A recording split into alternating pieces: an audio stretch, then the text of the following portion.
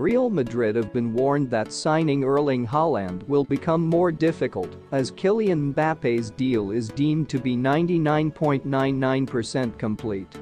World Cup winner Mbappe is set to head to the Santiago Bernabeu when his contract with Paris Saint-Germain ends.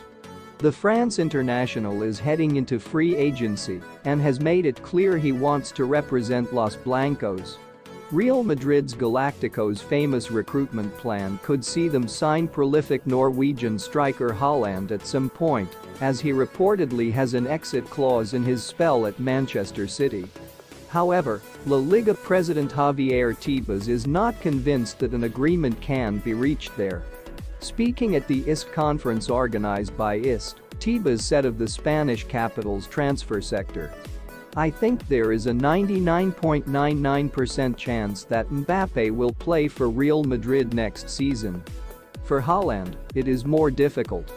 He had only been at City for a short time and was not considering leaving.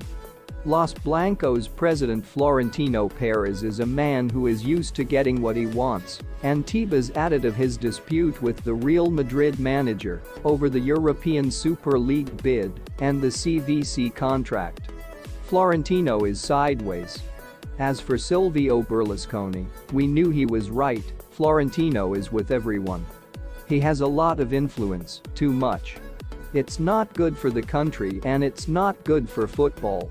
Real Madrid have dominated domestically this season, opening up an 8-point lead at the top of the league and drawing 3-3 in a thrilling Champions League quarter-final with Premier League giants Manchester City after an action-packed first match in Spain.